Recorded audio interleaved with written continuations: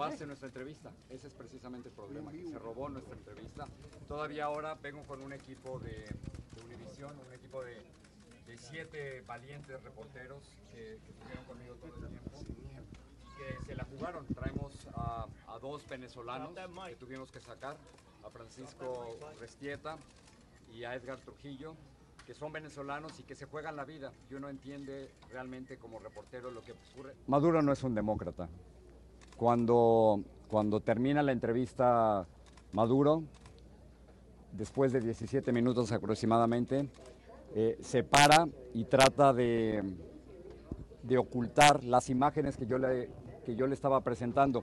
El día anterior, el domingo, había sacado con mi propio celular unas imágenes de unos niños, unos jóvenes, que estaban comiendo basura de un carro de basura. Y, y, pensé que yo se lo quería mostrar eso a Nicolás Maduro porque él insistía en que la revolución sigue funcionando y que hay logros de la revolución.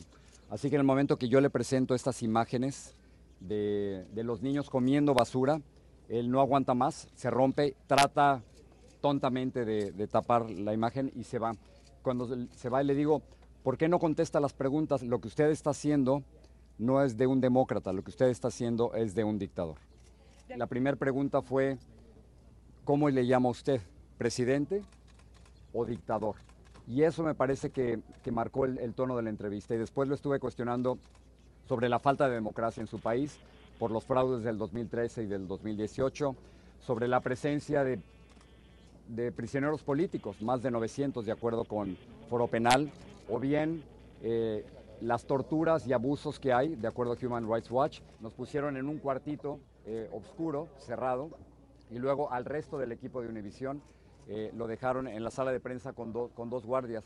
Y luego querían que nos metiéramos en un camión que no sabíamos a dónde nos iba a llevar, y ahí, y ahí nos negamos. Cuando ellos nos querían subir en un camión y llevar a otro lado, se empezaron a dar cuenta de que la noticia ya estaba en las redes sociales y entonces eh, ya no pudo haber, ya, ya no pudieron hacer absolutamente nada y nos, te, nos tuvieron que dejar ir al hotel.